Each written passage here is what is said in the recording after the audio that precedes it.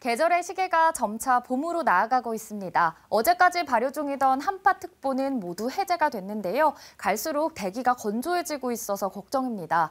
경북 동해안 지역과 대구에는 건조경보가 건조주의보로 완화가 됐지만요. 대구와 경북 전 지역에 계속해서 건조주의보가 일주일 넘게 이어지고 있습니다. 우리 지역 화재 예방에 각별히 신경 쓰셔야겠고요. 주택 화재와 산불 등도 유의하셔야겠습니다.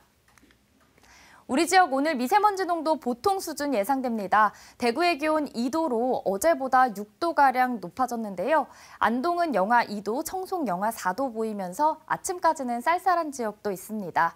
당분간은 평년보다 기온 오름세 보이면서 온화한 날씨 이어지겠는데요. 한낮에는 대구의 기온 11도, 안동과 청송은 9도 보이면서 오늘도 기온 어제보다 올랐습니다.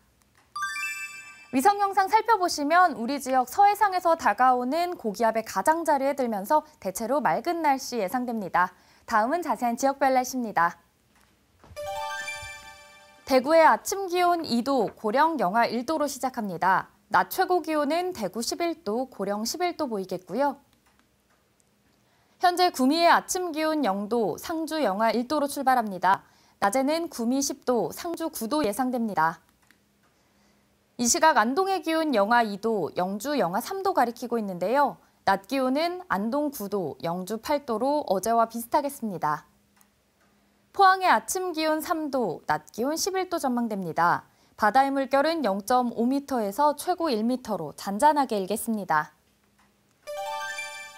당분간 기온은 평년보다 오름세 보이겠고요. 주말 동안은 흐린 가운데 일요일에 비 소식이 들어 있습니다. 날씨였습니다.